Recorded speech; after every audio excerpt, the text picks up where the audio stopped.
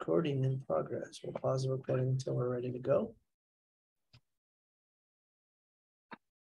All right. So um, this morning I want to share some some takeaways, and of course, you know, Rye and Chris, feel free to jump in anytime to to share you know nuggets as well. But we we were immersed into three full days from 9 a.m. to 4:30 p.m. Just every single minute of that was jam packed with unpacking this workbook, which was only given to 215 of us total. So there's only 215 copies in existence. This is the latest, greatest revisions of where Phil Jones has taken his exactly what to say formulas and really broke down like the line of questions, the thought process behind them, why we ask certain questions, and put them in an order that makes them the most useful to start getting used to learning. Okay. And he taught us the four cornerstones, the four the four cornerstones of understanding. Like preparation is everything. Um, in fact, the four cornerstones, the very first one is the worst time to think about what you're saying is when you're actually saying it. Okay. There's no substitute for preparation. And this is going to take a lot of practice. And this is something that none of us are going to learn overnight. Um, I got a tremendous amount of sales experience. So does Chris and Rye. And this stuff still is like, holy smokes. It's, it's switching up how we would ask questions. And it's doing it in a way that is going to create deeper relationships. You're going to really find out more of the context of what is important to your clients and how to get movement with decisions, how to get movement with helping people decide. Um, approaching each conversation with curiosity, which is actually one of the other cornerstones. Number two, curiosity is the fuel for great conversations. And what I mean by that is like literally, and I know you've heard me say this at least a hundred times be curious like a five year old, no judgment, no preconceived assumptions, like throw all that out the window because we don't know what our clients are really thinking until we ask. And when you ask these questions, it's going to help you build a stack of evidence to know what is important to your client. And if they get stuck, you can reference that stack of evidence, you know, based on the fact that you told me that having three bedrooms was absolutely critical to your family's happiness because you've got another child on the way and settling for a two bedroom is not going to work. What are we going to do about your budget to figure this stuff out? You know, like if you can't say be, because of the fact that you said X, Y, and Z and be able to use that to help your clients make decisions, maybe we haven't asked enough questions yet to get to know our client better. Okay. Um, glad you're able to come in here, Verse. Um, number three cornerstone is people do things for their own reasons, not yours, not mine, for their reasons. So when you understand the context of their reasons for why they want to do something or, or the decision that they're contemplating, you can help make movement in that momentum by asking questions and reflecting back as a mirror what you've learned that's very important to your client. I'm going to share with you guys how I used this yesterday in a workshop here in a moment as an example. Uh, the person asking the questions this is cornerstone number four. The person asking the questions controls the conversation. This one here, I need a lot of practice.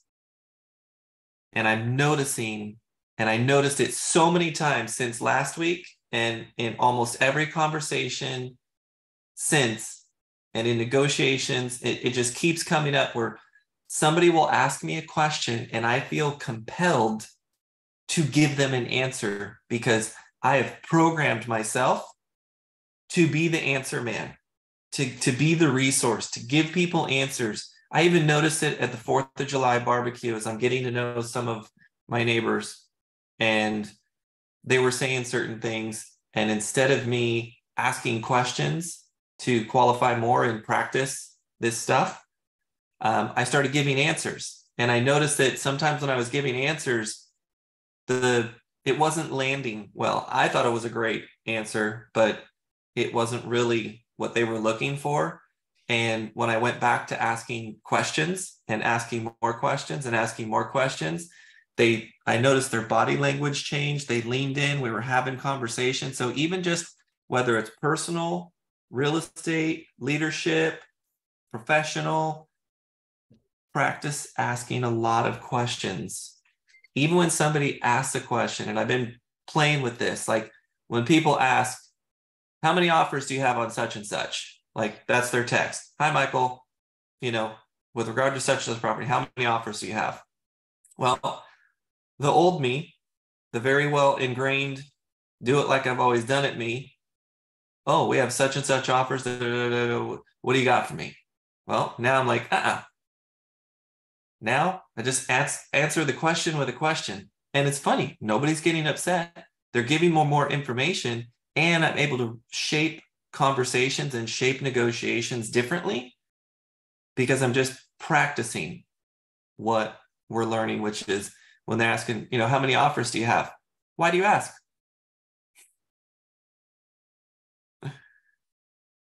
you know, and then it's funny because the different answers tell me they're just testing the waters. They really have an interested party. This could be something serious. This is totally, you know, somebody who hasn't even read anything. And then I ask more questions and guide the conversation to get them what they need and be able to move on. But it's it's creating more fruitful conversations by flipping it around and taking control of the conversation by answering a question with a question. Okay. There are um, a line of questions that literally there's 32 questions for exactly what to say. Okay. These 32 questions, we also have an outline to make it easy to start practicing. So there's rejection free openings. Rejection free openings are like something that you want to start a conversation where you have a mutually agreeable fact you have a polite opening, a mutually agreeable fact, and it is followed up with a very easy to answer question that is a reflex question. And when we started breaking apart, learning this stuff, what was interesting, what was interesting is um, like how programmed most of us are to ask questions in a way to get what we want, not necessarily ask questions to seek to understand.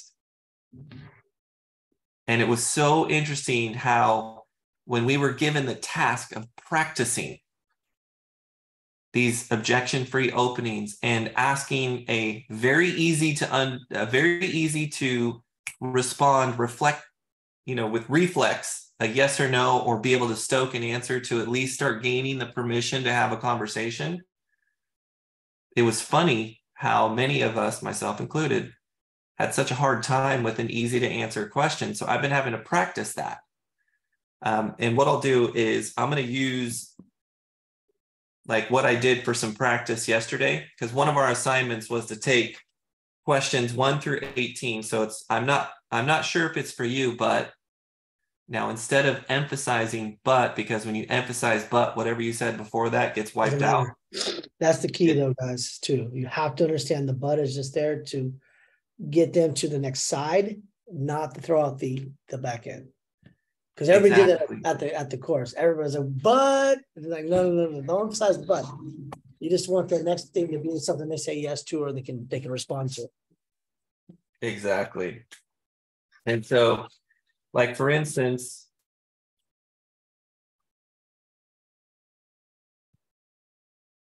um, so this is this is an example of so questions one through 18. I'm not sure if it's for you, but the next one is open-minded. Like, would you be open-minded or how open-minded are you about blah blah blah? Who do you know?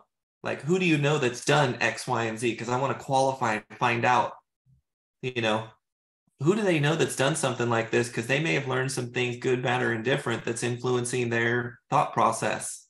Okay. And that's where, as we started breaking these things down, and I started practicing with this yesterday on a home buyer workshop. And then I also practiced for what I'm going to share with you on talking to the investors who have not been listening to us on how to manage their projects and get higher profits for their sales. Um, opening fact question. An opening fact question is, again, like a, a polite opening, a mutually agreeable fact, meaning something that we commonly can verify or know as fact with a very easy to answer question in order to, again, I want to stoke some conversation. Then we get into perspective changes, which is to start to build the body of evidence that we're going to use later in the conversation and questions and, and help guide the conversation better. So perspective changes are like, what do you understand about X, Y, and Z? Number six is, what is your experience with X, Y, and Z? Number seven, how certain are you that blank, blank, blank, blank, blank? Number eight, when was the last time you blank, blank, blank, blank, blank? Number nine, how important is it to you that you get this boom, boom, boom outcome? And then when they answer, okay, no, like seriously, qualify that. On a scale of one to 10, one being this, 10 being that, where are you at on the scale? So I really want to understand how important this is to you. Number 10, could it be possible? This is to start getting them thinking outside the box. Could it be possible that there is some other option available? Number 11, how would you feel if boom, boom, boom? We want to start creating the where, and find out what are the feelings associated with that particular possible outcome. Just imagine. Now we're going to start forwarding the action. Just imagine if you were in your new home, enjoying this, da, da, da, da, da, da, da, to get the feelings. Because when people feel good about something, that's when they're going to take action. If they don't feel good about it, they're not taking any action. An if then statement.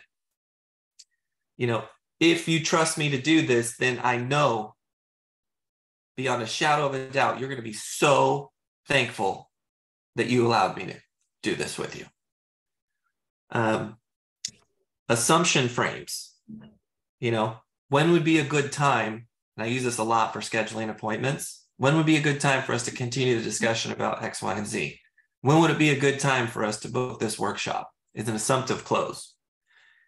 I'm guessing you haven't gotten around to X, Y, and Z. How often is it we give stuff to clients they haven't done it? I'm guessing you haven't gotten around to blah, blah, blah. You give them a, an out and then permission to go ahead and move forward with something. Let them off the hook. Number 16, you have three options. And the three options you want to give them is option number one, totally horrible, bad for them, not a good way to go. Option two, keep doing what you've always done, get what you always got. You already told me this isn't working for you. So are you really going to continue doing that? Option three, here's the unanimously because the fact you said X, Y, and Z was important to you, like this decision would be like crazy for you not to move forward with. Okay. And there's two types of people. And I bet you're a bit like me and something that can create some commonality in order to really start to stoke things and summarize it. There's still 19 through 32 to go through but the initial practice to start getting used to this line of questions is like what I did with the investor and like what I did with the home buyer workshop yesterday. So I'm going to read to you. It's starting with 1 through 18 on the, I'm not sure it's for you, but all the way through and like how I frame these conversations. And I'm performing this, by the way, for the first time for you to see how this lands, to see if I'm going to edit some of this stuff and go back and try again. Because what you want to do is first practice writing out the questions. That's it. Then you want to practice performing the questions out loud, especially with peers just like this, to get feedback on, hey, that sounded funky. You might want to change this, this, and this, or damn, that was good. Roll with that, or whatever in between, right? And then go back and edit it and then perform it again edit it, perform it again, edit it because it's the performance of practice, meaning practicing. You will get very good at it. Then it becomes natural in the delivery, and there's different inflection points, different pauses, because you can you can say the same words in a sentence. And when you change where you pause, how you inflect, what what words you emphasize, completely changes how something lands. So, you know, like, you know, what were you thinking about when you were trying to decide blah, blah, blah, versus what were you thinking? See the difference? So, performance. And, and what's funny is like it's now making sense like oh this is why in certain situations i'm like totally knocking it out of the park and then other situations, my performance sucks. And then I fall and crash and it doesn't go well. So, first is going to be in these investors. So, to set the stage, the investors that we bring a lot of deals to, you know, they have their own project managers. They do things all the way up to the last minute. They throw a pile on us and they expect us to just jump and get things done. They don't listen to us on pricing the homes. And what's happening is their listings are taking two to three times longer to go pending, and they're pending at ten to fifty thousand dollars per listing less than my other listings because they don't listen to me about changing their process. So I want to have a conversation with the senior VP, and here's the questions I'm going to ask him. I'm not sure if it's for you, but we've been netting tens of thousands more for our clients on other listings and selling faster with half the days on market profit is most important to you, right? That's my little easy to answer question. Either profit's more important, most important to them or it's not. The answer will tell me where their heads are at. Is it really the most important or is it really not? Because if it isn't, that's okay. You guys are leaving money on the table, you're comfortable with it, or maybe it is important and we need to have this conversation. Okay. I'm adding context of where this could go. The next question Would you be open minded would you be open minded to learning ways you can increase profits? Is one way to perform it. Or would you be open minded to learning ways you can increase profits? See how that's a little different? And looking for what's going to really emphasize. Would you be open minded to learning ways you can increase profits? You know, I'm just curious. And then the who do you know?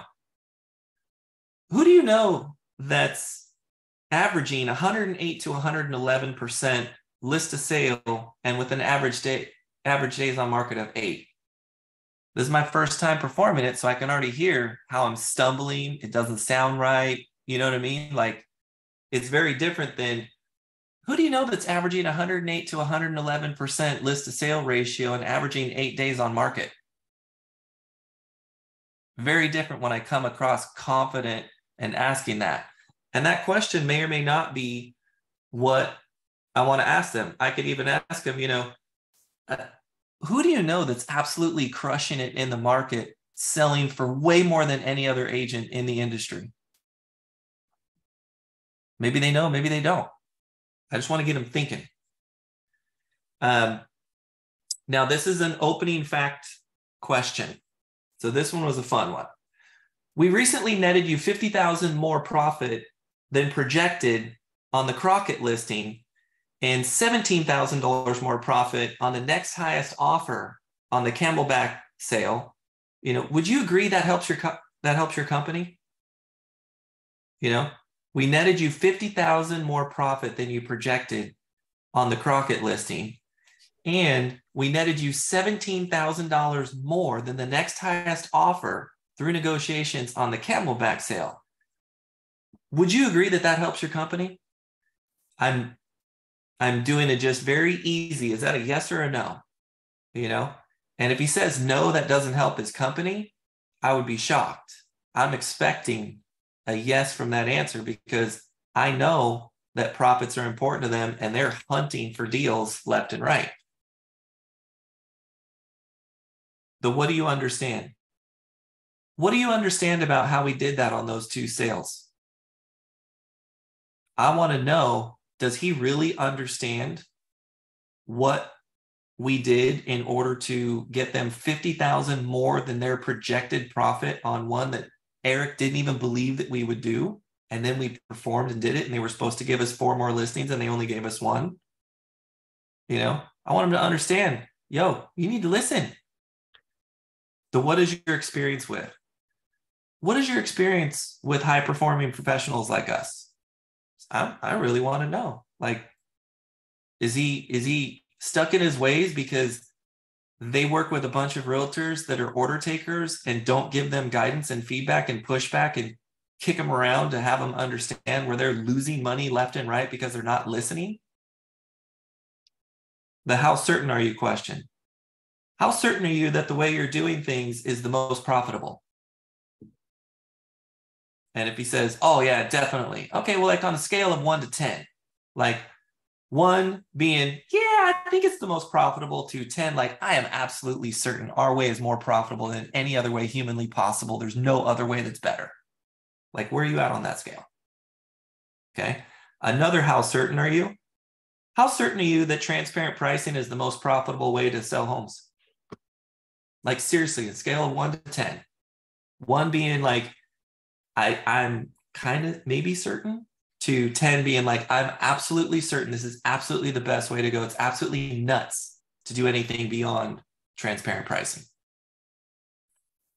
Then the when was the last time someone in the Bay Area? Uh, when was the last time? When was the last time someone in the Bay Area market has brought up price and a challenge getting your home sold? Because I want to know this is starting to build a stack of evidence because I know for a fact that all their listings in the Bay Area are sitting for two or three times longer, having trouble moving, because um, their project managers are sharing this info with me. But I don't know if he knows this. And when was the last time somebody brought to your attention challenges with moving product in the Bay Area? Because I'm now stacking more evidence of when you tell me when was the last time somebody told you, and then I ask you, um, you know, more and more evidence to stack up of like, dude, are you not hearing that it's not just me? Like, there's a lot more people here that understand this Bay Area market that are trying to tell you to stop doing what you're doing because you're losing money. I got to run, Michael, your host, though. I got my meeting at 10. Coolio. All right.